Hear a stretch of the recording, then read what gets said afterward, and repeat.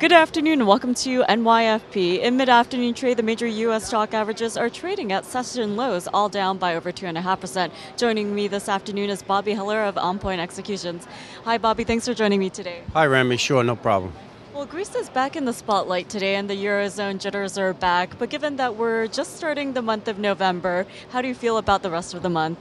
Oh, the rest of the month. I, I think Greece will still be in the spotlight the whole month. Uh, we spoke last week about, you know, how we had such a surefire deal over there in Europe with Angela Merkel leading the way.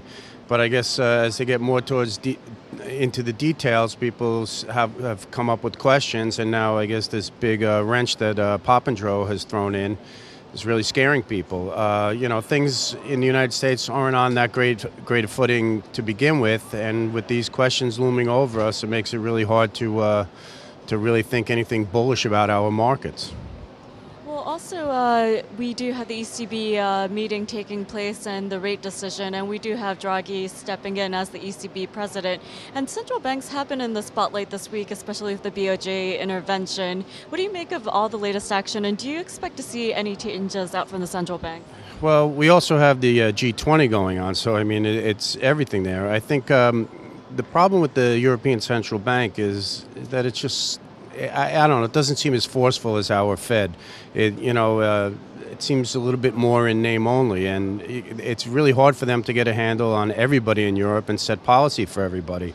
I mean, we keep saying that, uh, you know, socially, it's not the United States of Europe, and it's hard for everybody to get on on one train there and, and go with it. And we just see anytime we think we have consensus, it falls apart. So, uh, you know, I don't really expect to see any real good solid stuff coming from there, but you know it does it doesn't take a lot to start getting real help and get it rolling. Hopefully they can come up with something.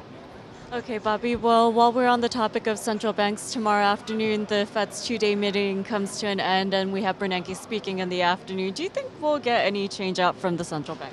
I don't think we're going to see anything really new from the Fed, and I've been saying that for quite some time. Uh, you know, they talked about that Operation Twist a, f- a few weeks ago, and eh, you know, it'll be interesting to say, uh, say, to see what his comments are as to how he perceives that's going, or if they'll continue or try something else. Uh, a lot of people seem to think they're running out of tricks, but you know, I think uh, hopefully they come up with a little something. I mean, you look at uh, manufacturing numbers that came out today in the U.S. Uh, you know, much much worse than we expected and they're continuing to go that way globally. So it, it, it's kind of hard to think that you know, like you know, one little uh, twist of something is really going to going to change things fast. Okay, Bobby. Last but not least, before we wrap it up for uh, today's interview, we've talked about uh, central banks, um, but we do have uh, the non-farm payrolls coming out at the end of this week. Do you think a lot of the expectations are priced in? I, I, think most of what we're seeing today and in the past uh, week or so had to do with uh, the perception that things were going well in Greece. So if we have bad numbers, I don't think they're priced in yet. Um, I, you know, I can only see that if the numbers come out bad, that you know, I think it'll really hit the markets hard. So I'm hoping for at least good flat numbers or, or to some good numbers because there's too much pressure from overseas. You know, anything over any bad news here gets exasperated by that.